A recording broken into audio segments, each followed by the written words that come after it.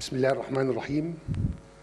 سيادة الرئيس عبد الفتاح السيسي رئيس الجمهورية الحضور الكريم السلام عليكم ورحمة الله وبركاته.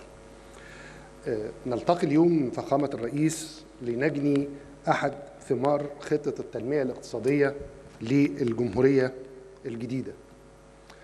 وهنا اسمح لي سيادة الرئيس إن إحنا نتكلم هل هي خطة التنمية الاقتصادية أم خطة التنمية العمرانية. وده هيقودنا لمفهوم العمران. العمران في مفهوم الدولة المصرية زي ما إحنا حاطينه في توجهاتنا لحضرتك أرستها هو وعاء التنمية. فمفيش تنمية بتتم دون هذا الوعاء. طيب لما كان العمران هو وعاء التنمية خلينا نسترجع وعاء التنمية في إقليم الدلتا اللي إحنا متشرفين إن إحنا واقفين على أرضه دلوقتي. إقليم الدلتا مكون من خمس محافظات دمياط الدقهلية الغربية كفر الشيخ المنوفية. آه، حجم السكان اللي فيه عشرين وستة من عشرة مليون نسمة ومساحته واحد واتنين من عشرة فقط في المية من مساحة الجمهورية. لما نيجي نبص على مقارنة إقليم الدلتا بأقاليم مصر الأخرى هنلاقي إن هو تاني أكبر إقليم من حيث حجم السكان. في 21 مليون نسمة. بيجي بعد إقليم القاهرة الكبرى اللي هو فيه حوالي 25 مليون نسمة. إلا إنه عنده أقل فرص لاستيعاب العمران للسكان والأنشطة. الوعاء التنمية اللي إحنا بنتكلم عنه دلوقتي النهاردة لما نبص له هنلاقيه إن هو ممتلئ على آخره سواء بالأنشطة الاقتصادية الأساسية لأن ده الإقليم آه، بيعتمد على النشاط الزراعي والصيد وهي الأنشطة الأساسية وهو في الأساس إقليم آه، ريفي كثافات سكانية مرتفعة أكثر من 400 شخص على الفدان وخاصة في عواصم المحافظات محدودية في المناطق المتاحة لتوفير الخدمات والأنشطة الاقتصادية والمناطق الخضراء عشان نحسن من جودة الحياة. طب أمال إحنا هننمو إزاي في هذا الإقليم اقتصاديا؟ إحنا بنك... التنمية اللي إحنا بنقصدها هنا هو الم- المواطن. إزاي ارفع من جودة حياة المواطن اقتصاديا في ظل ال- ال- ال- الت- التكدس السكاني وانعدام فرص ال- الامتداد. طيب لما نبص كمان في الظاهرة الأخرى اللي في المحتوى العمراني اللي إحنا فيه في الدلتا هو عدم الاتزان في توزيع السكان بين الحضر والريف. نسبة الحضر على مستوى الجمهورية 45% على مستوى إقليم الدلتا 28% فقط نسبة الحضر. ال- الحضر على مستوى العالم بيمثل 55% من سكان العالم وبيعزى إليه من 70 ل 75% من الناتج المحلي الإجمالي اللي بيطلع على مستوى العالم بيطلع من الحضر. وبالتالي لما نبص على الأرقام اللي قدامنا هنعرف إن ده اقتصاديات ضعيفة. اقتصاديات ضعيفة بتنعكس على نوعية ال- الفرص عمل قليلة بطالة حتى مستويات ال- ال- الخدمات والتعليم والفرص ال- ال- للنمو محدودة جدا جدا جدا. ده اللي بيدينا مؤشراتنا عشان التنمية. إحنا لازم ندرس المحتوى ال- اللي إحنا بنتكلم عليه عشان نشوف القرارات ونوجهها إزاي. طيب حتى لما نبص على عدد آه، سكان الريف هنلاقي إن ظاهرة في هنا ظاهرة في الدلتا عدد ال- المدن كان 1970 40 مدينة. إحنا في 22 60 مدينة. طب ال 20 مدينة اللي زادوا دول دول مش مجتمعات عمرانية جديدة ولا حاجة.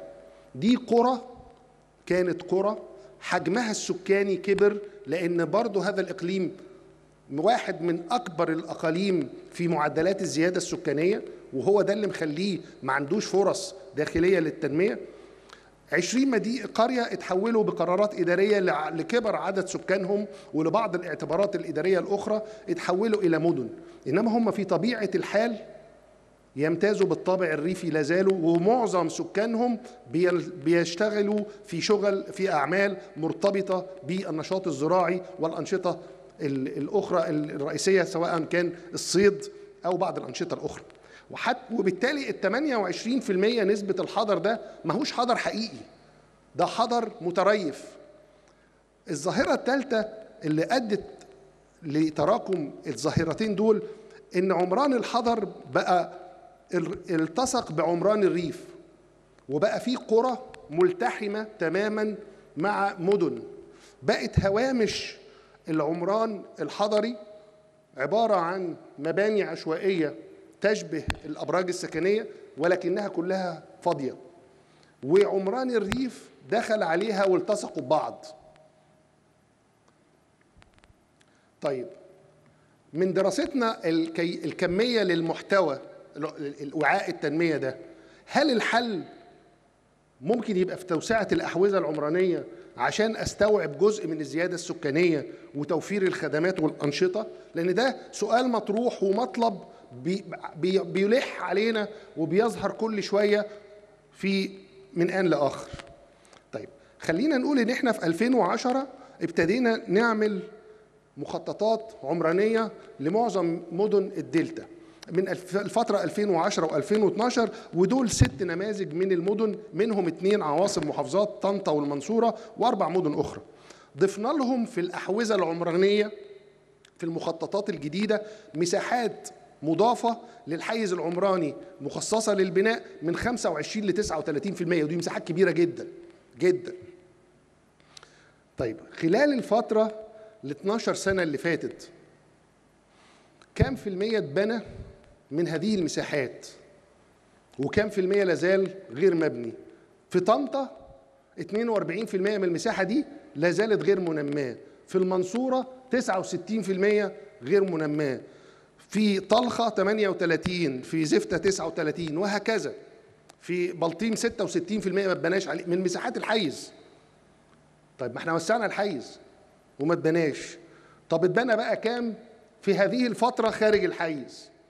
في طنطا اتبنى 18 ما يساوي 18% من المساحة المضافة بره الحيز. في المنصورة 20% من المساحة المضافة اتبنت بره الحيز. وهكذا. 40% في طلخة. في المدن ذات الطابع الريفي الأكثر هنلاقي المساحة بتزيد. المحصلة هنا إن الحل ليس في توسعة الاحوزه العمرانية وهدر الأراضي الزراعية. اللي بيحصل إن هناك تفضيل للبناء على الأرض المملوكة. لأنه بيدخل قيمة الأرض في معادلة إنتاج الوحدة السكنية بصفر لأنه أرض وارثه إنما هو مش هيروح يشتري فدان أو أو قيراط كان عنده زيه ثمنه 50 ألف جنيه. دخل حيز بقرار إداري بقى ب 600 700 ألف جنيه. هو مش هيروح يدفع فيه 700 ألف جنيه. هو بيروح يبني على بتاعه اللي بره. وبالتالي كنا نوسع الأحوزة عشان نلبي الطلب. ده معناه إن إحنا هنهدر الأرض الزراعية كلها. لأن كل واحد عايز يبني على أرضه. وإلا كانت الأرض الفاضية النسب الفاضية دي ال 69% اللي فاضيين في المسؤول كانوا اتشغلوا في ال 12 سنة اللي فاتت. ما هو ليس هناك طلب حقيقي مقرون بالقدرة الاقتصادية. وليس هناك أنشطة اقتصادية تسمح بزيادة هذا الطلب وأدفع عشان أشتري شقة أو عشان أشتري قطعة أرض عشان أبني عليها لأن أنا مش لاقي شغل. إحنا معدل نصيب الفرد من الأراضي الزراعية اللي هو النشاط الأساسي في إقليم الدلتا قيراط ونص. إحنا متخيلين ما هو المنتج اللي ممكن يكفي إنسان يعني الأسرة الواحدة مش هيكون عندها أكتر من خمسة اراض أو ست اراض ست اراض في السنة هيطلعوا إيه بقى؟ لما نقسم المنتج اللي بيطلع من هذا هذه الرقعة الزراعية سواء للفرد أو للمجتمع على عدد السكان بتنتج فقر. يبقى لازم يكون هناك تدخل آخر غير توسعة الاحوزه العمرانية اللي هي بتتم على حساب النشاط الرئيسي في هذا الإقليم. دي مثلا مدينة المنصورة كانت 4450 فدان في 2010 بتساوي ب 470 ألف نسمة اتضاف لها 1550 فدان 35% من اللي اللي ملونة باللون الأصفر واللون الأحمر السلوات ده هو المحدد باللون الأحمر ده الحيز العمراني المخصص للبناء. طيب بقت الكتلة 6000 فدان وتستوعب 640 ألف نسمة. اللي اتبنى هي المساحات المهشرة من الأصفر دي 31% وال 69% من 12 عام ما تمش البناء عليهم. ودي المساحات اللي تم بنائها خارج الأحوزة العمرانية في خلال ال 12 سنة المنقضي. وكل المدن بتاعة الدلتا معمول لها هذه الدراسة وعلى المستوى الإجمالي عندنا من 22 ل 30% من العمران المضاف في آخر 15 سنة خارج الأحوزة العمرانية. وهناك مساحات داخل الأحوزة العمرانية مش الحالية كمان الأحوزة العمرانية بتاعت 85 لا زالت أراضي فضاء لم يتم استغلالها. طيب ده من ده من ناحية دراسة المحتوى من الناحية الكمية. طب نشوف المحتوى المحتوى التنمية ده من الناحية الكيفية. هل عمران الحضري في الدلتا بدأ مشوها زي ما إحنا شايفينه كده؟ أم اصابه الخلل؟ وإيه سبب ده؟ عشان نقدر نتحرك. ده عمران حضر الدلتا في بداية القرن العشرين في الأربعينات والخمسينات والستينات بداية الستينات. اللي على اليمين فوق شربين تحتها طنطا والاثنين اللي على الشمال دول المنصورة. ده عمران يهتم بالمقياس الإنساني بيهتم بالفرد يهتم بالمناطق الخضراء والمفتوحة يهتم ويعكس ثقافة المجتمع. بيأكد على الالتزام بالقواعد والنظم التخطيطية والبنائية. لما ندرسه في حقيقته هنلاقيه بيحقق كل ما جاءت به مؤشرات تحقيق البند السابع من الاستراتيجية الوطنية لحقوق الإنسان في الحق في السكن الملائم. السبع عناصر لما قسناهم على هذا العمران اللي ابتدى في الفترة دي بيحققهم بالكامل. طب لما تطور بقى هذا العمران إيه اللي حصل؟ قديما وحديثا. حتى لما حافظنا على الشكل القديم على الشكل بس. حصل تشوه في البيئة العمرانية نتيجة تجاوز الحدود القصوى لكثافة السكان والأنشطة. نرجع تاني نلاقي إن الزيادة السكانية وكثافة الاستخدامات والأنشطة اللي تداخلت أدت لتشوه البيئة العمرانية بالشكل ده. نتيجة إن طغى الانتفاع على المستوى الفرد على الخسارة اللي بيخسرها على المستوى الجمعي. ونتج الشكل ده. ده لما حفظنا. طب لما غيرنا؟ انتقلنا من عمران بيهتم بالمقياس الإنساني إلى أن التركيز أصبح على القيم المادية وحدها. وحصل التفات كامل عن أي قواعد ونظم للبناء وضوابط للبيئة العمرانية المناسبة لحياة الإنسان. ثقافة الزحام ابتدت تظهر وعمران بلا هوية. الموضوع بيبان في أقصى حالاته بقى لما بيتظهر الاستغلال الجائر وغير الرشيد للأراضي وفقدان مفهوم السكن. لا يمكن ده الشارع اللي في النص ده شارع اسمه شارع البنك في المنصورة.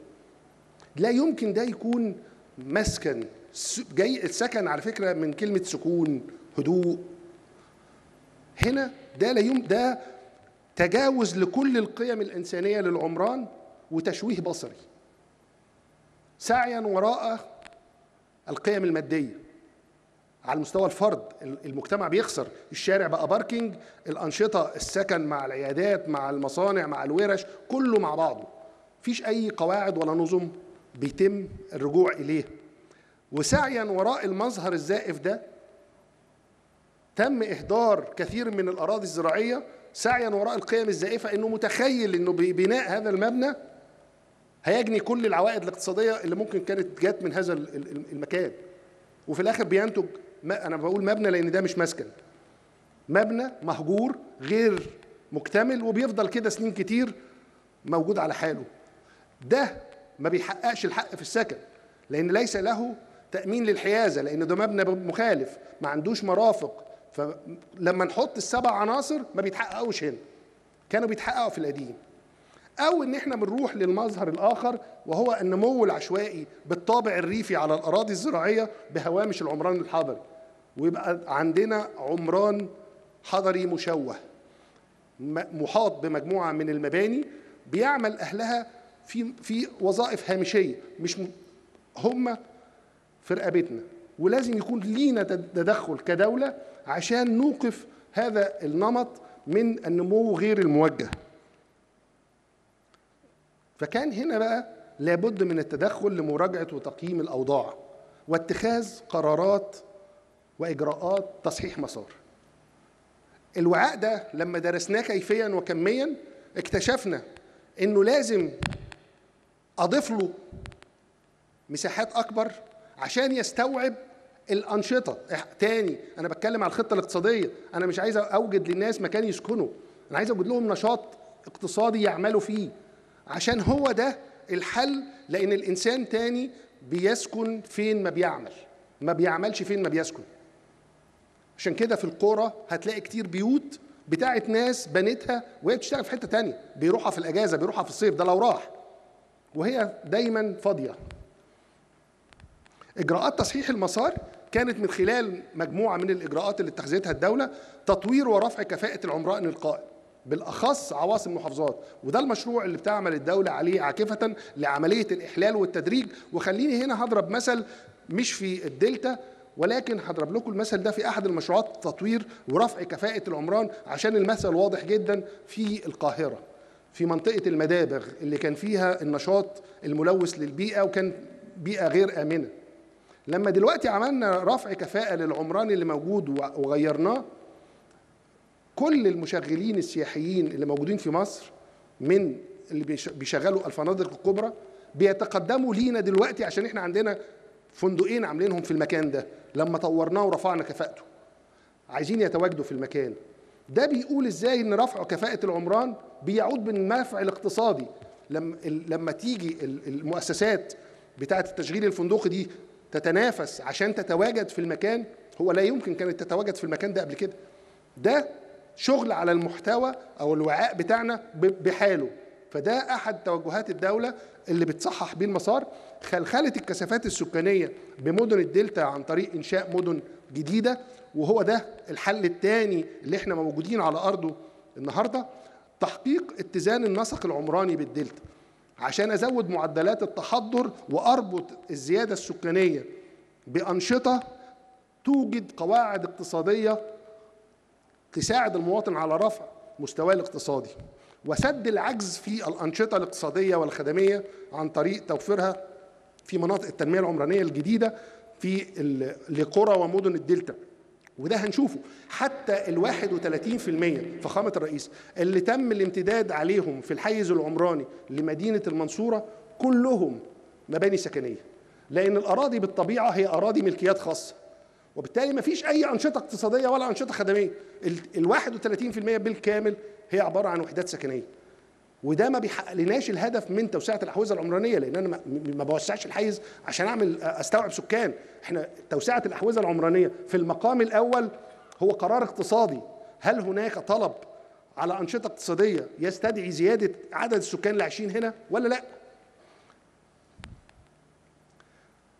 الحل على المستوى الأكبر الدولة ابتدت بعمل مدينتين جداد داخل الإقليم مدينة السادات ومدينة دمياط الجديدة.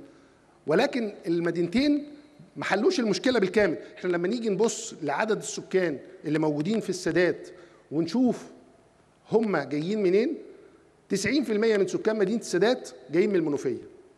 يبقى الحل أتى ثماره.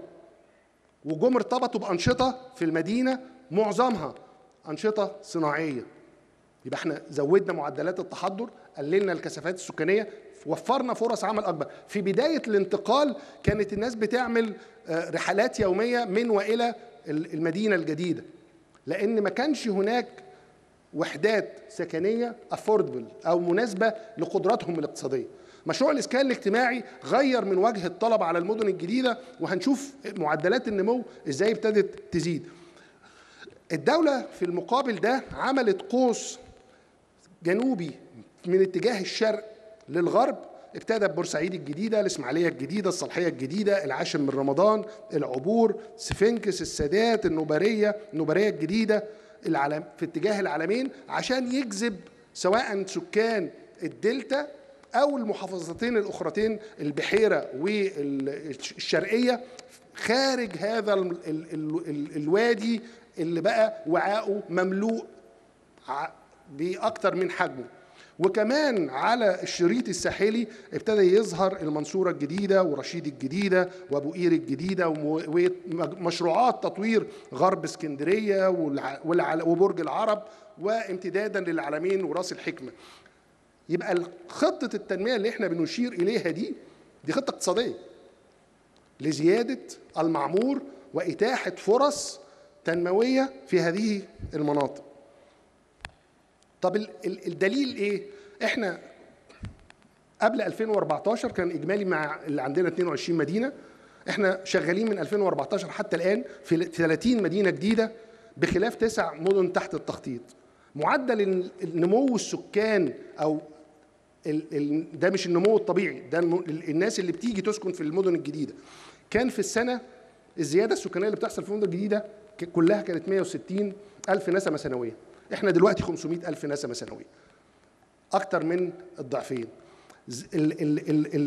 المساحات اللي أضيفت للعمران كانت قبل 14 بنضيف 18000 فدان سنويا. إحنا دلوقتي بنضيف 166 ألف فد- فدان سنويا. وبالمقابل طبعا الإنفاق زاد من 2 مليار في السنة ل 42 مليار في ال- العام الواحد. طب ده عمل لنا إيه؟ فخامة الرئيس كان اتكلم على إن مضاعفة المعمور ده ليها قيمة اقتصادية وبتضيف اسيتس طبعا إحنا ال ال ال ال الإضافات دي في المدن الجديدة فقط كلفتنا 96 مليار هنقول 100 مليار عشان الرقم يبقى محفوظ.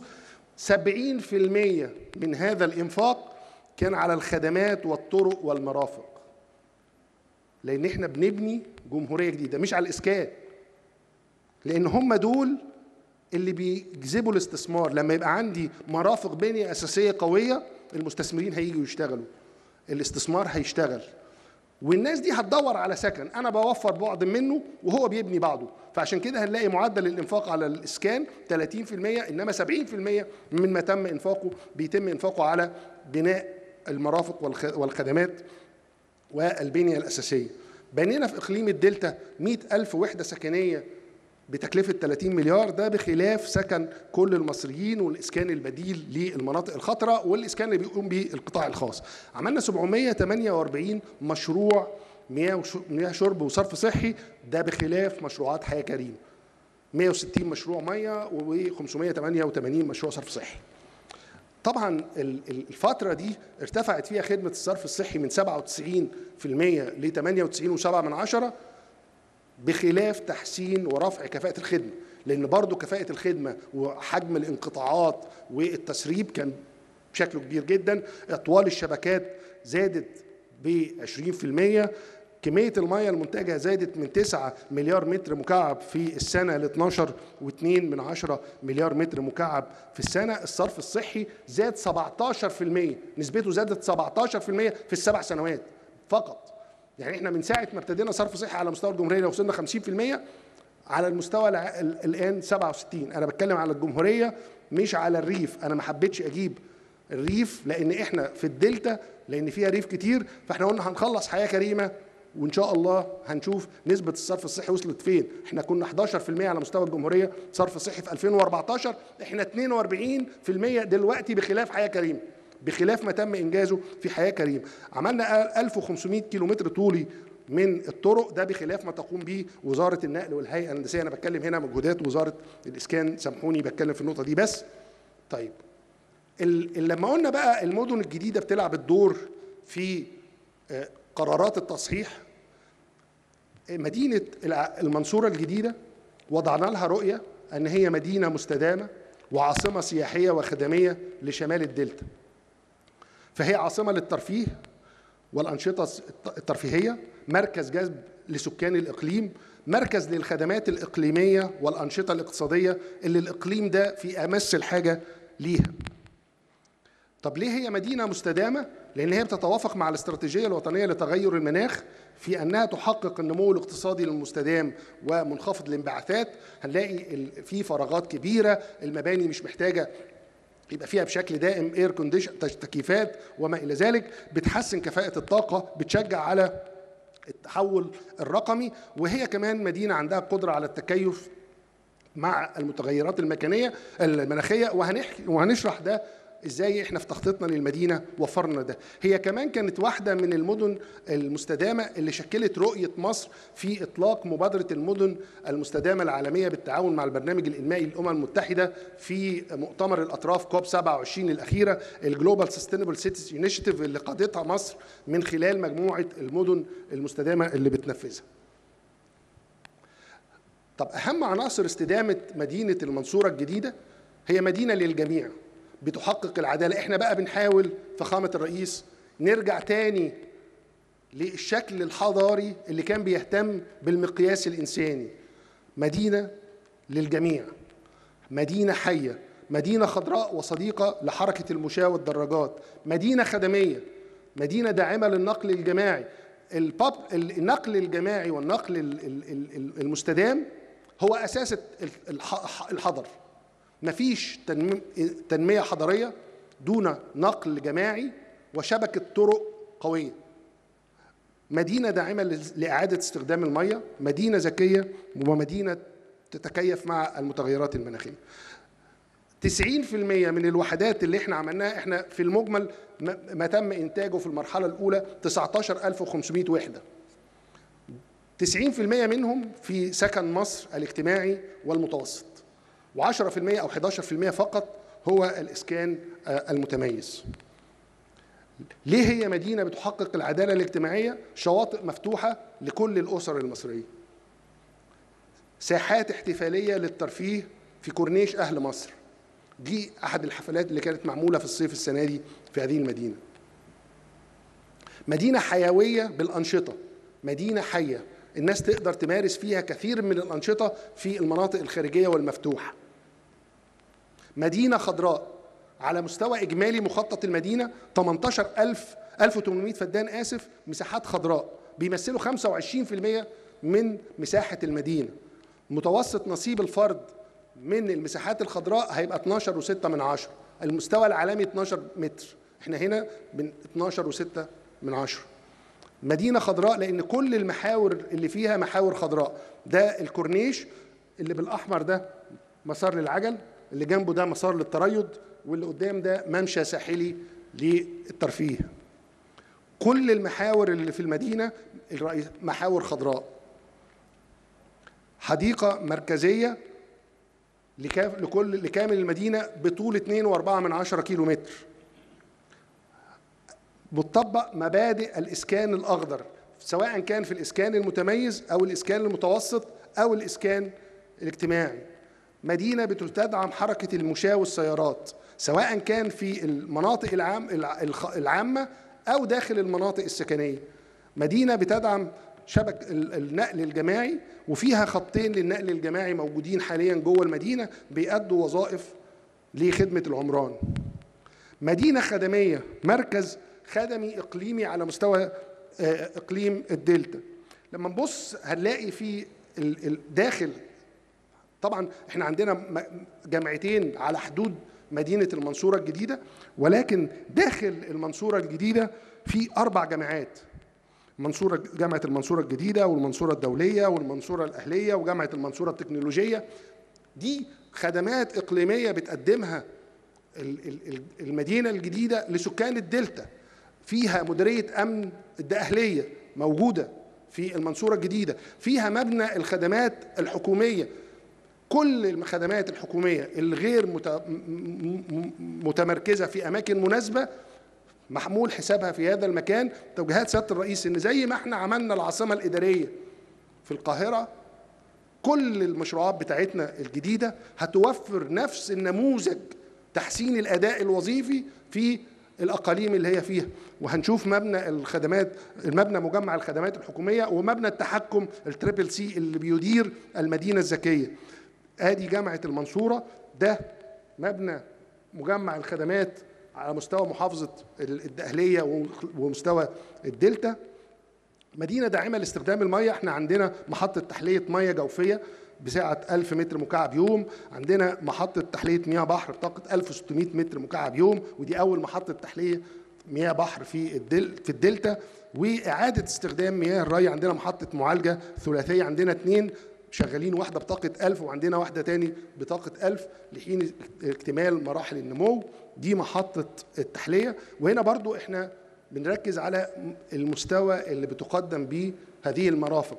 بتقدم على أعلى مستوى وأعلى قدر من الإدارة والتشغيل والقيا وال- والصيانة القياسية مش الصيانة المطلوبة عشان نحافظ على الموارد دي. ده مدينة ذكية اللي فوق ده أعمدة الكهرباء الذكية اللي موجودة اللي عليها كل شبكات المراقبة والاتصال وال... وأجهزة تشغيل الري الذكي. إحنا الري هنا في مدينة المنصورة بي... بي... بيتحسس حجم الرطوبة في التربة وبيشتغل على أساسه مش بيشتغل ب time. وده مركز التحكم في ال- ال- الرقمي في المدينة المدينة زي ما قلنا. بتتكيف مع المتغيرات المناخية ال... ال... الأعمال حماية الكورنيش مرتفعه متر ثم الطريق الكورنيش مرتفع متر لأن هما الاثنين بيمثلوا خط دفاع ضد ارتفاع منسوب مياه البحر أو أي متغيرات مناخية وده أدبيات آه، الأمم المتحدة بتقول إن دي مدينة ريزيلينس وده شكل من الأشكال اللي ما بيحسش إن إحنا عاملين عمل صناعي للحماية هو معمول من أحد مفردات آه، التخطيط. اسمحوا لي نتكلم على آه، آه، المرحلة الأولى. لا معلش يا دكتور عاصم. ارجع لو سمحت لل أنا بس بسم الله الرحمن الرحيم. أنا مش هعلق كتير على كلامك يا دكتور عاصم لكن على نقطتين بس. اتفضل. أنت ذكرت هنا إن في محطة تحلية 160 ألف متر مية في اليوم مش كده؟ واتكلمت على حماية الشواطئ. أنا هنا بس عايز أقول للناس إن لما بنيجي نعمل كدولة بيبقى في تصور شامل للمسار اللي إحنا شغالين عليه. يعني هو يمكن كتير يتصور إن الفكرة معلش يعني الدكتور عاصم قال كلام مهم قوي الفرق بين التعمير والعمران. مش كده؟ ف لكن عايز أقول لكم اوعوا تفتكروا إنها هي مدينة شكلها حلو يعني. لكن إحنا كنا اي ما هو كده. يعني اللي ممكن يتفرج علينا يا دكتور عاصم دلوقتي يتصور إن هي مدينة شكلها حلو. وده مش مش مش غلط بالمناسبة. لكن أنا عايز أفهم الناس اللي بيسمعونا إن إحنا عملنا موضوعات على بعضها. آه، الموضوعات دي تحقق كتير من المطالب اللي الدولة بتحتاجها منها على سبيل المثال حماية الشواطئ. كان عندنا لحماية الشاطئ ده مسارين. مسار إن إحنا نعمل حاجز مية. مش كده يا دكتور عاصم؟ و... ونعمله ويكلف ملايين برضه. وقد يكون يكلف أكتر من كده. أو إن إحنا نعمل حاجة تحقق إن أنا أحقق مجموعة من الأهداف بإجراء واحد. مش كده؟ صحيح هو ده اللي أنا اللي الدكتور عاصم بيقول لك إيه؟ عملنا شاطئ ارتفاعه متر ثم عملنا طريق ارتفاعه متر تاني ثم عشان في النهاية إذا كانت الشواطئ المصرية وخاصة الدلتا معرضة نتيجة انخفاض منسوبها عن المعدلات المحتملة اللي هتحصل خلال الخمسين سنة الجاية. أنا بقول كلام صحيح. طيب مش كده يا دكتور مصطفى؟ فإحنا متوقعين متر أو مترين. طب إحنا كان عندنا نقدر نعمل على امتداد مثلا 200 300 كيلو حواجز تكلفنا عشرات ويمكن مئات المليارات من الجنيهات أو الدولارات عشان نحمي شواطئنا اللي هم ورا منها الناس بتوعنا اللي موجودين في الدلتا وموجودين كده. أدي واحد. لا إحنا عملنا فكرة تانية. إحنا عملنا ده بس بطريقة تانية. أدي واحد. اتنين الدكتور عاصم كان مهم إنه يقول لينا برضو إن محطة التحلية اللي موجودة دي هي ضمن خطة الدولة لبناء محطات تحلية على المدن المطلة على البحر المتوسط والأحمر بحيث إن إحنا في النهاية نبقى المية بتاعت النيل تكون لداخل ال- الجمهورية وتقابل النمو السكاني المحتمل خلال الخمسين سنة الجايين. لأن إحنا بنقول إن إحنا حاليا ما لدينا من مياه على عدد سكاننا أقل من 500 متر مكعب مية في اليوم. إذا في السنة ولا إيه؟ فإذا أنا محتاج إن أنا أقابل النمو المحتمل آه، في طلب على المية بالنمو اللي هيحصل في السكان. فكانت المسار هنجيب مية منين؟ هنجيب مية للنمو السكاني منين؟ فكانت الفكرة إن إحنا بنعمل وأنا بقول الكلام ده الكلام اللي إحنا بنقوله ده واللي بيقوله دكتور عاصم ده خطة دولة خطة خبراء وعلماء. مش يعني اوعى حد يزعل مني يعني. مش هقعد رجلي على رجل وأقول كلمتين في موضوع يا جماعة. لا دي دولة آه، يعني من خيرة العلماء سواء في الجامعة أو في الوزارات المعنيه هي اللي حطت التصور ده. وبالمناسبة التصور ده مش مش وليد النهارده يا دكتور مصطفى؟ يعني مش كده ولا لازم تقولوا كده يا دكتور عاصم؟ فندم. ده مش وليد يعني ده مش وليد يعني إيه؟ يعني مش يعني مش إحنا بس اللي عملناه. لا ده كان موجود قبل كده والدولة كانت بتفكر فيه. ولكن يمكن الظروف ما ما اتاحتش إن هي آه، يتعمل. فالخطة بتاعت المية قلنا لا يبقى إحنا محتاجين إن إحنا نعمل تحلية مية ويبقى المدن الساحلية زي حتى العالمين فيها محطة 150 ألف متر صحيح. مكعب.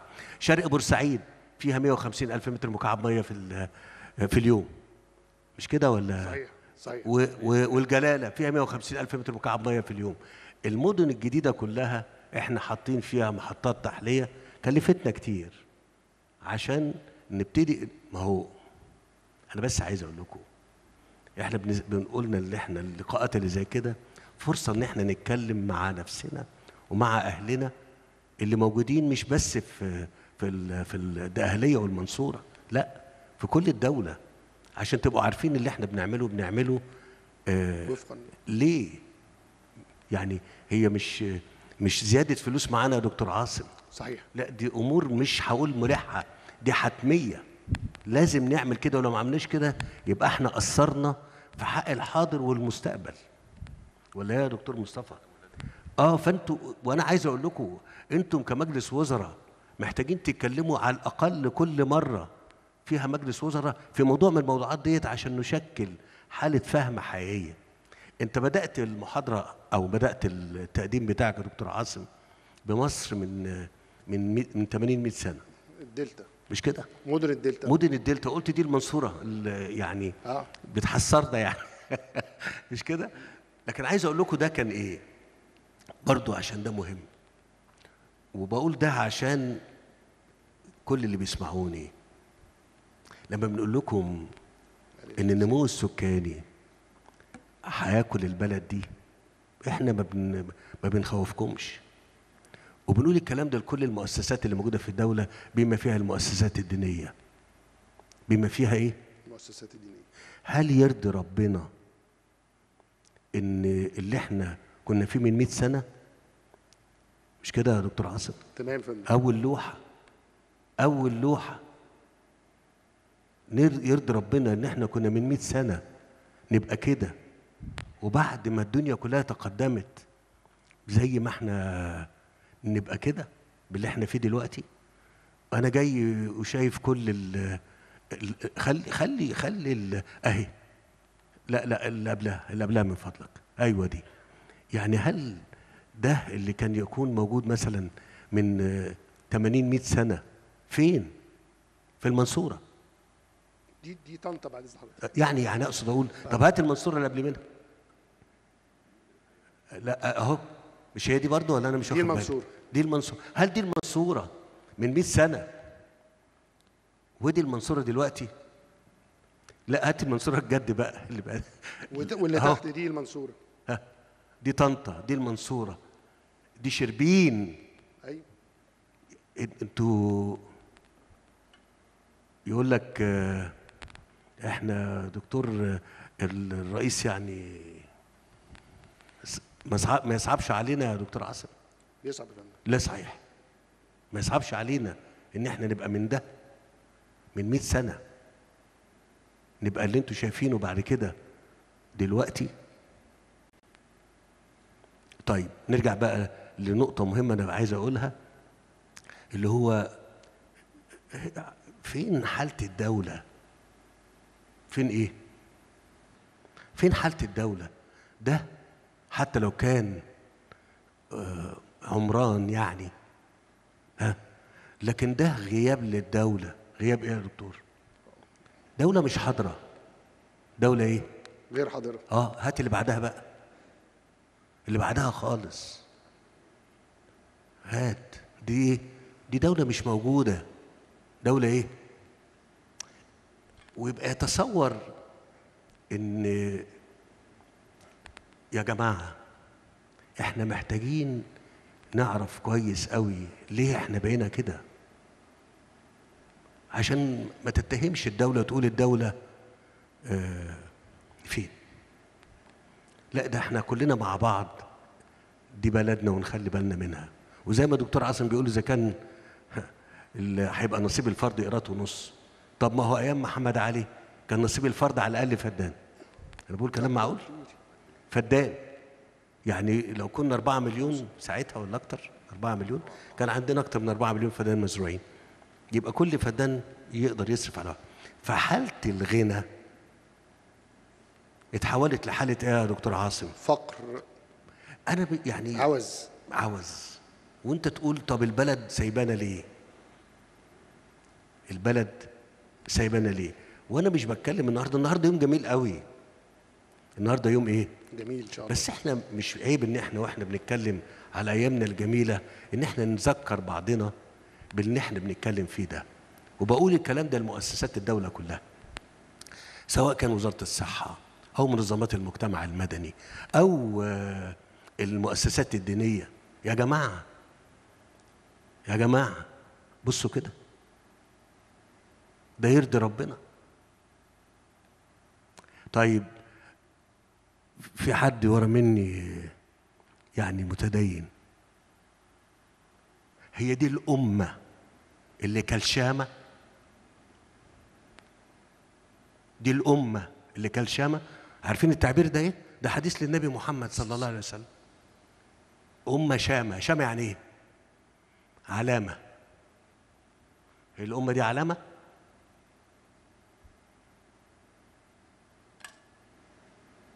في الكلام في السلوك في القيم في القدرة. شامة. في كل حاجة شاطرين. في كل حاجة بارزين. مش كده؟ هو ده كده؟ طب هل ال- ال- المطلوب؟ أنا بس يمكن عشان بس ما حدش يقول إن الموضوع إسقاط على دين فهمنا لديننا. لا لا ما أقصدش. بس عايز أقول إذا ما كنتش مؤسسات الدولة بالكامل تبقى معانا مش معانا إحنا مش معايا أنا. مش مع الدكتور مصطفى مش مع الوزارة. لأن إحنا مش زي ما قلنا قبل كده إحنا مش نصين. إحنا مش في جنب ده إحنا واحد. مش كده يا دكتور عاصم صحيح، ده بقى. مصيبة لو إحنا تصورت إن أنا أنا جنب الناحية التانية وأنت هنا. إحنا مع بعض كلنا. ودي بلدنا كلنا لينا فيها زي بعض وعلينا فيها زي بعض. وبقول لكم تاني ال- ال- الكلام اللي قاله الدكتور عاصم لو نزل الجهاز المركزي للتعبئة والإحصاء وشاف حجم المباني اللي معمولة. أنا كلمت الموضوع ده كلمت فيه قبل كده. وقلت يا جماعة امشوا على الدائري وشوفوا العمارات اللي موجودة يا دكتور عاصم. ما فيهاش شبابيك ولا بيبان. ده مش معقول يكون حد عايش فيها يعني. يعني يعني مش معقول يعني. فأنت شوفوا حجم المباني اللي موجودة دي أكبر من الطلب اللي موجود في السوق. والا كانت الناس راح- راحت قعدت فيها. ما هو اللي فيها دور ولا اتنين ساكنين والباقي ما سكنش وكتير معمول كده. ده هو كلمة قيمة زائفة اللي حضرتك حاططها دي ده تعبير حقيقي. إحساس بالغنى آه الزائف. إنك أنت عندك عمارة 10 أدوار ثمنها 2 3 مليون جنيه. مش كده هو ده الفكرة؟ صحيح. لا والله. مش حقيقي. أنت كان الف... لما مؤاخذه لو كنت باني على قيراطين القيراطين دول لو كنت شغلتهم وح- وحافظت عليهم كنت هيجي لك عوائد حقيقية محققة. أكتر من اللي أنت مستنيه إن هو إيه إنك تعيش مع وهم. إن أنا عندي آه، مباني كده. طبعا جوه الكتلة السكانية ديت اللي هي زي اللي في الشمال آه في ناس كتير جدا بتبني وبتبني عشان خاطر آه، أبنائها يعني اللي موجودين عايزين يعيشوا معاهم. خلاصة الكلام اللي أنا عايز أقوله هنا إيه؟ اللي إحنا بنعمله بالمدن ديت هي عبارة عن هي مش مش شكل. لا ده عبارة عن مجموعة أهداف بتتحقق. ويمكن الدكتور عاصم بيقول لكم إن ال- اللي هو المنطقة الخلفية والخلفية اللي أنا أقصدها عشان بس ما حدش يتصور إن لأن إحنا قلنا إن لا اعتداء على الأراضي الزراعية في الظهير للمدينة ديت. مش كده يا دكتور عاصم؟ صحيح. لكن إحنا بنتكلم في بين الطريق والترعة. والترعة في منطقة لوجستية دي منطقة. لوجستية. أنا عارف أنا بس عايز أقول إيه دي منطقة عشان نوجد عمل للناس. تاني بقول لكم لو فضل نمونا السكاني بالطريقة ديت محدش هيقدر يحل المسألة. ولا أنا محدش هيقدر. وخلاص ارضوا بقى. ما تقولوش إيه آه، يعني أنا ما افتكرش حد هيقدر يعمل أكتر من اللي إحنا بنعمله. الحمد لله رب العالمين. الحمد لله. والله ما حد هيقدر يعمل أكتر من اللي إحنا بنعمله ده. إلا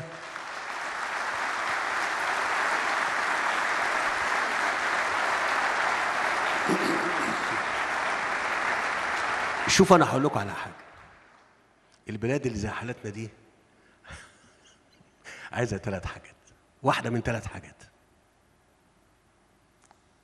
يا إما صبر وعمل.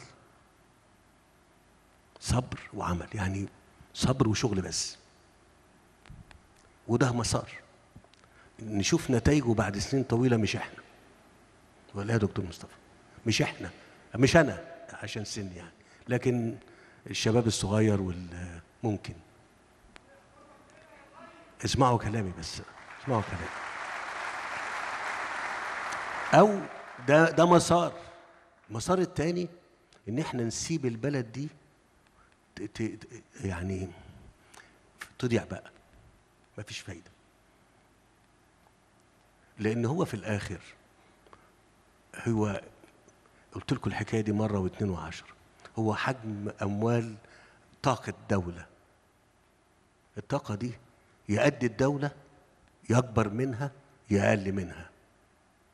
إن كانت أقل منها يبقى دايما الإحساس بالعوز وال- والقلة هو هيبقى جوانا. ده لو كانت أقل.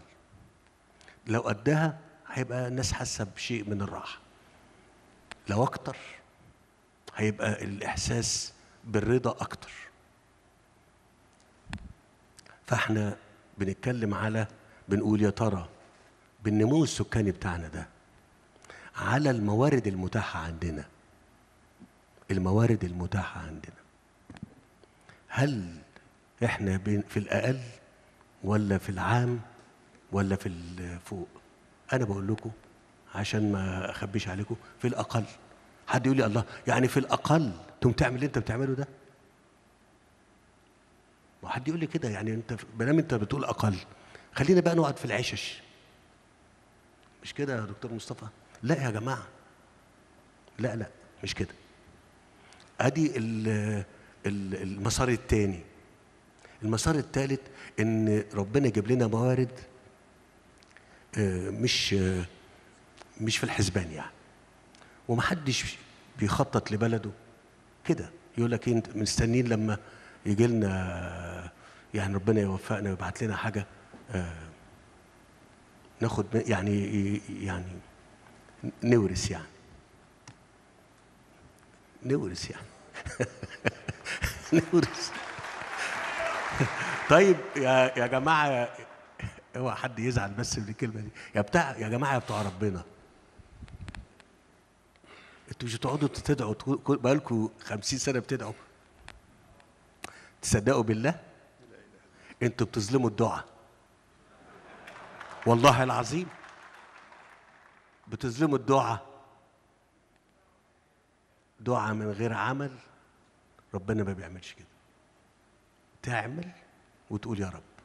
يوم ربنا يوفقك. لكن تدعي بس. خلي. اقفل الكتاب طول السنة واقعد صلي و- وصوم وادعي وهات التسعين. لا يمكن هو ربنا ما قالش كده. عشان كده بقول بتظلموا الدعاء. بتظلموا العلاقة مع الله. تقول أنا عندي هجيب وربنا يرزقني. ويبقى عندك خمس أولاد أو ستة وتقول أنا ربنا هيرزقني. ما حدش هينام من غير عشاء صحيح.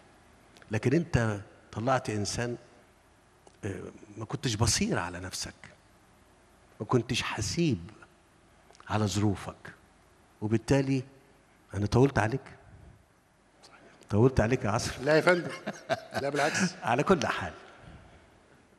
على كل حال.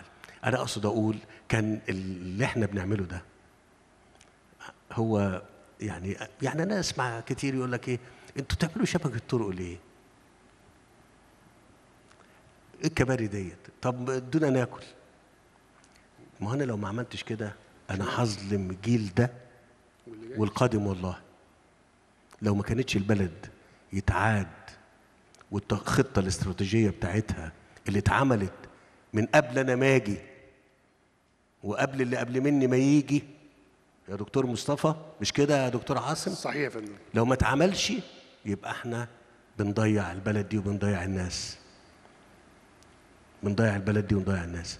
طب إحنا في خير ونعمة؟ أيوه. والله العظيم إحنا في خير ونعمة والحمد لله رب العالمين. الحمد لله. طولت عليك بس كان لابد إن إحنا. نقول إيه؟ اللهم آمين. ربنا يوفقكم. اسمعوا. اوعوا تفتكروا إن ربنا سبحانه وتعالى والجهد اللي إحنا بنعمله جهد مخلص وأمين ومبدع ومبدع. وبمنتهى ال- القوة اللي ربنا بيعنا بيها بنعمل. مش أنا. كلنا. إحنا. أيوة إحنا. اوعى تفتكروا العمل اللي هنا ده واللي بيعمل في الدولة دي. كان حد أنا هختم بالكلمة ديت. كان حد كلمني من كم حد إيه؟ ده القائم يعني. قالوا لي إحنا نخف الأعمال بتاعتنا شوية. مش كده يا دكتور مصطفى؟ قلت لهم أنا كنت جايب دي على آه، الأيباد يا دكتور عاصم. حجم الشركات العاملة في الدولة المصرية في مشروعات محددة. حجم الشركات العاملة في الدولة المصرية في مشروعات محددة للدولة سواء كانت ومش بتكلم على قطاع خاص. أنا بتكلم على القطاع اللي هو الدولة بتعمله. أنا بقول لكم مش أقل من أربع خمس تلاف شركة شغالين يا جماعة. فيهم جواهم مش أقل لو قلت متوسط ده في شركات فيها سبعين ألف عامل. لكن أنا هقول متوسط ألف. يعني أربعة خمسة مليون عامل أو بإنسان بين عامل وبين يعني كل الوظائف. خمسة مليون يعني خمسة مليون أسرة. فرصة. طب أنا عملت قفلت أو قللت. قولوا لي الخمسة مليون أسرة دول أنا أوصل لهم إزاي؟ ولا يا دكتور عاصم؟ صحيح صحيح. مش أنا أنا يعني. كدولة. الدولة توصل لهم وتديهم يعيشوا إزاي؟ طب أديهم كده تكافل وكرامة؟ ما ده فكرة برضه. ولا أديهم ويبنوا البلد؟ اشتغلوا. نشتغل. أنا بقول الكلام ده لينا كلنا. شوفوا.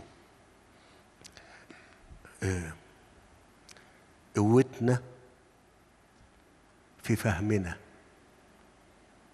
قوتنا إيه؟ في فهمنا. وأنا لما بخلي زمايلي يبقوا واقفين هنا ويتكلموا ويشرحوا أمور قد تكون بالنسبة للمواطن العادي يعني مش مش ده محل اهتمامه. أنا في النهاية عايز آه، فلوس في جيبي أو ألاقي حاجاتي في السوق بسعر كويس. بس خلي بالكم ما تفصلوش ده عن اللي بيقوله دكتور عاصم. شكرا جزيلا. اتفضل يا دكتور. شكرا أستاذ طيب يعني أنا محتاج آه، أرجع للو- للوحة يمكن إحنا تجاوزناها سريعا وإحنا بن بنتكلم حضرتك لما أشرت في تعليق سيادتك على عدد الشركات اللي شغالة. يعني أنا بس هرجع لها هنا في ال presentation وهرجع تاني للمكان ما كنا آه، واقفين. آه، ما أضافته مدن الجيل الرابع لو سمحت في ال presentation ممكن نرجع له.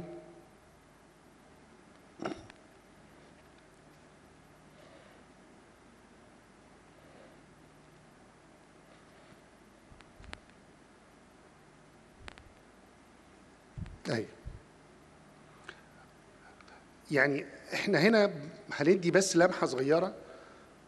لما وعاء التنمية اللي إحنا بنتكلم عنه ده وسعناه بإضافة مدن الجيل الرابع أنا عايز أقول إحنا لما حطينا المخطط القومي في 2010 مخطط مصر 2052 ب- برئاسة دولة الرئيس كان هدفنا الأول هو مضاعفة المعمور. أنا عايز أقول إن إحنا القرارات الجمهورية الصادرة لمناطق التنمية الجديدة كلها في مصر بتحقق إن إحنا منتشرين في العمل على 14 وسبعة من عشرة من إجمالي الجمهورية.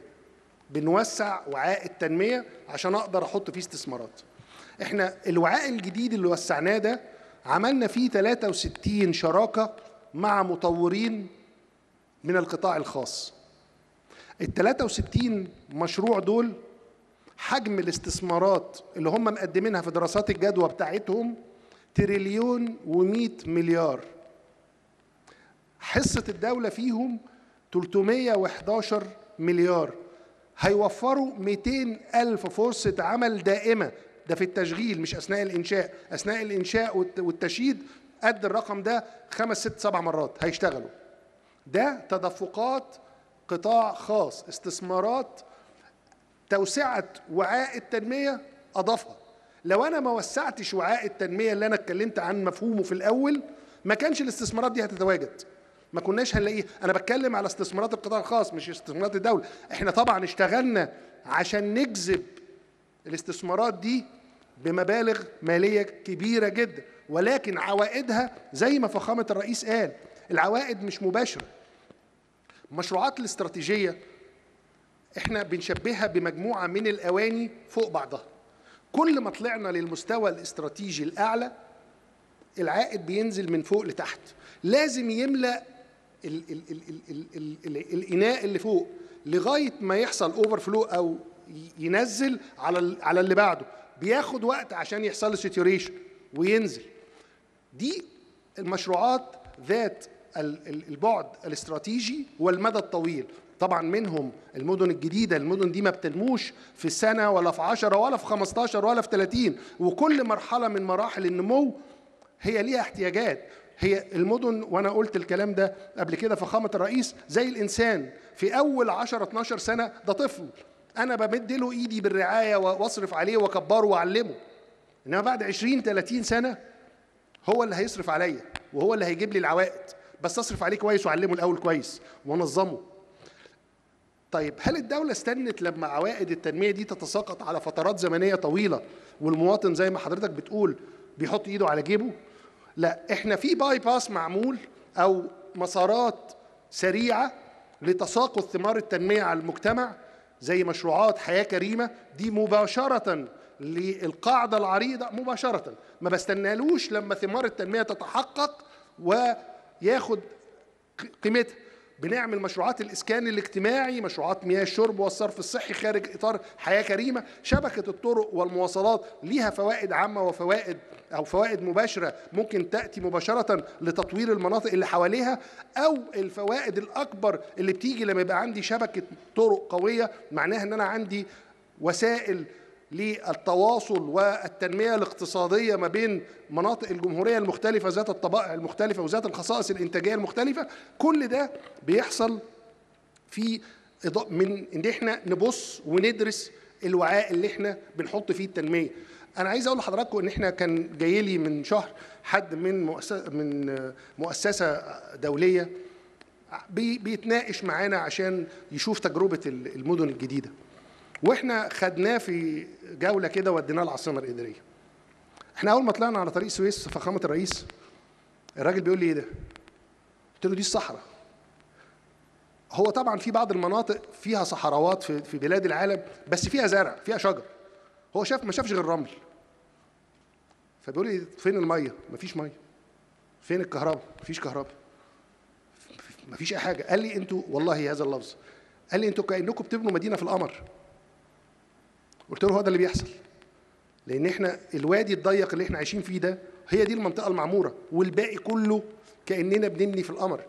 وبالتالي لما بننتشر في المناطق الجديدة في إطار خطة التحلية اللي حضرتك أشرت إليها إحنا عندنا خطة للتحلية لسنة 2052 حاجزين مناطق محطات التحلية ومآخذ المية من دلوقتي على 9 مليون متر مكعب يوم في الخطة. بننفذ في الخطة الخمسية الأولى منهم تلتهم.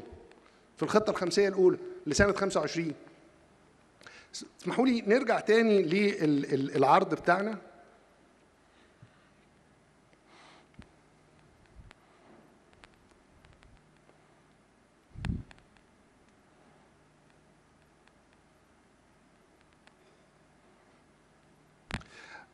فخامة الرئيس إحنا عندنا مبدأ في ال- ال- العمل ومن باسمه الشكل يعكس الوظيفة. النقطة اللي حضرتك أشرت إليها إحنا ما بنعملش حاجة شكلها حلو.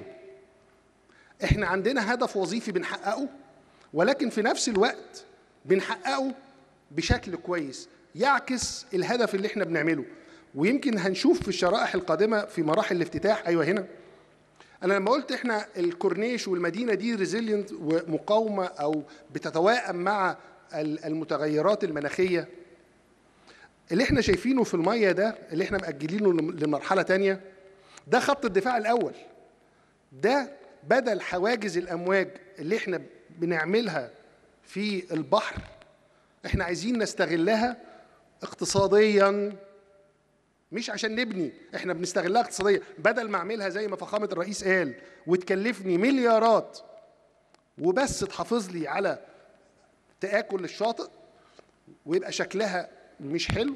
لا إحنا هنعمل هذه المعالجة البيئية عشان نحقق الهدف ونرجع بعض العوائد من إعادة استغلال ال ال الأشكال دي اللي هي هتبقى جزر في المية مبني عليها بعض الأنشطة الاقتصادية اللي ترجع لنا العائد. وده هو خط الدفاع الأول. خط الدفاع الثاني اللي إحنا عملناه اللي إحنا أشرنا إليه مش من ناحية الشكل ده له وظيفة. وال- والشكل ده برضه ليه وظيفة وليه دور. بس إحنا لأن إحنا مواردنا محدودة بنحاول نعمل الاثنين في واحد. أنا هحقق الهدف من الحماية واسترد بعض العوائد وأحصل على شكل جميل يحقق لي. طبعا في بعض الناس أنتوا بتعملوا زي مش عارف مين وبت... لا إحنا بنعمل اللي إحنا محتاجين له. بس ما نعملش أكتر منه. كمان لما نيجي نتكلم على المرحلة الأولى اللي إحنا بنفتتحها النهارده ونتشرف بوجود حضراتكم المساحتين الصفر دول دي مساحات غير منماة داخل المرحلة الأولى وهي اللي فيها الأبراج اللي مرسومه دي.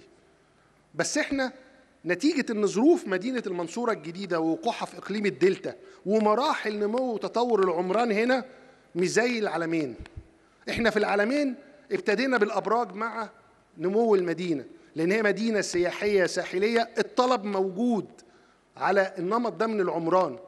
إنما إحنا هنا الخطة طويلة المدى إن أنا أخلق الطلب الأول وأخلق الطلب على على المجتمع ويجي يسكن ويعيش ويلاقي الأنشطة والخدمات. لما أعمل ده في المرحلة الثانية وهي دي ال- الجزء اللي هيتعمل في المرحلة الثانية داخل المرحلة الأولى هنبتدي نشتغل في هذا النشاط. فكل مكان بندرس فيه بيبقى وفقا لطبيعة وخصائص المجتمع وتقبله لل- للعمران اللي موجود. المرحلة الأولى تكلفتها 24 مليار آه، جنيه.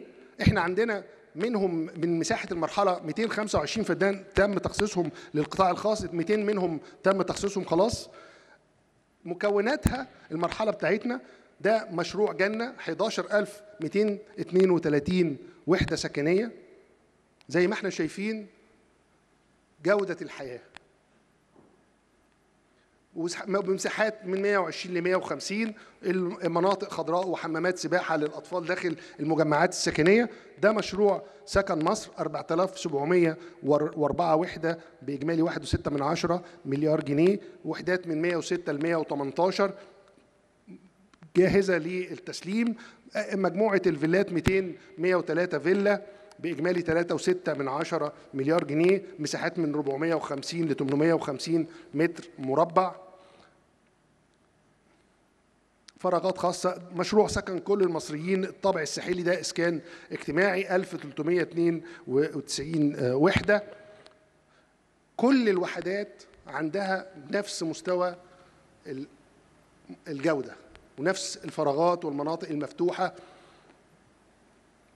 كورنيش بطول 4.2 من عشرة كيلو متر تكلفته 600 مليون. أنشطة مختلفة برجولات ومقاعد للجلوس وكافيتريات ودورات مياه بأشكال مختلفة ومدينة هتبقى حية. حديقة مركزية بطول 2.4 من 10 كيلو متر. إحنا حرم الطريق والمنطقة الفاصلة. استغليناها إن هي تبقى حديقة مركزية للمدينة كلها وفيها مجموعة من مسارات المشاة والدراجات وأماكن الجلوس والكافيتريات والمطاعم. الجامعة أو المجمع الجامعات في المنصورة في أربع جامعات في أربع كليات بيشتغلوا كلية القانون الدولي بتشتغل كليا ثلاث كليات الطب طب الأسنان والصيدلة والهندسة بيشتغلوا جزئيا وفي تشغيل جزئي لبعض الكليات في بعض مع مباني كليات أخرى وكلية الطب إن شاء الله في الترم الثاني هيتم التشغيل آه، ليها. مركز طبي على أعلى مستوى. اتنين مدرسة نموذجية دي المدارس اللي بتبنيها الدولة. دي مش مدارس قطاع القطاع الخاص. دي ال- ال- الخمس خدمات مساجد كلها تبرعات. في ثلاث كنايس واحدة تحت الإنشاء بيقوم بت- بتنفيذها هيئة المجتمعات واثنين جاري أعمال الموقع تنفيذ الطوائف. آه، مدرسة دولية بتعمل بقالها سنة دي تاني سنة بتشتغل فيها. ثمان أسواق تجارية محطات التحلية ومحطة المحولات ومحطة معالجة ثلاثية. سيادة الرئيس ده الماضي اللي فقدناه وده الحاضر المادي الزائف. ودي قرارات تصحيح تصحيح المسار اللي حضرتك أخدتها. ده اللي إحنا كنا فيه وده اللي إحنا بقينا فيه. وده اللي إحنا بنعمله مش رايحين له إحنا إحنا رحنا له خلاص. آه، اسمح لي آه، فخامة الرئيس في نهاية آه، حديثي أتوجه بالشكر والعرفان لصاحب المن والعطايا المولى عز وجل اللي وفقنا وساندنا وأغدق علينا بواسع نعمه. هو صاحب الفضل الأول والأخير. كما أتوجه بالشكر لمن تبنى الأفكار وطورها وأعدها. لأن زي ما حضرتك قلت مدينة المنصورة الجديدة القرار بتاعها طالع من 2010 إحنا حجر الأساس أغسطس 17 يعني 2010 قبل إحنا ما نبقى موجودين. إحنا كنا موجودين. وقبل كنتوا- والدكتور مصطفى آه كنا طبعا موجودين. أنتوا كنتوا موجودين. أيوه طبعا أنتوا كنتوا موجودين. أنا أقصد بالكلمة دي عشان الناس تبقى فاهمة. إن 2010 يعني قبل ال- حالة 25 يناير. بالظبط. مش كده يا دكتور؟ وال- والم- والمخطط وال- وال- والتفاصيل كانت موجودة. أرجو إنما- ان أنتوا يا دكتور عاصم يا دكتور مصطفى اللي مع الجرايد المصرية ومع الإعلام وريهم المخططات اللي كانت الدولة عاملاها مش بس في الزراعة كان في إيه؟ في شبكة الطرق القومية كان في إيه؟ في شبكة النقل كان في إيه؟ كل الكلام اللي أنتم عملتوه وكان معمول قبل مننا قبل مننا يعني قبل إيه؟ يعني على الأقل قبل مننا. وكان مطلوب إنه يتعمل. فلما جه جت الفرصة بنجري نعمله. لكن اللي قبل مننا كانوا عايزين بيحلموا كده وخططوا لده. هم مش موجودين معانا. هم مش موجودين معانا. لكن هم خططوا وفكروا وكانوا عايزين يعملوا. الظروف حالت. ويا رب ما يعيننا ونقدر نعمل ونعمل ونعمل. طيب ع- يعني عشان كده فندم اسمح لي إن أنا أوجه كل الشكر لمن تبنى الأفكار وطورها وأعاد توجيهها ومهد الطريق وسخر الإمكانيات وعبأ الجهود وحفز الهمم لإنجاز هذه المهام. كل الشكر لفخامة الرئيس عبد الفتاح السيسي.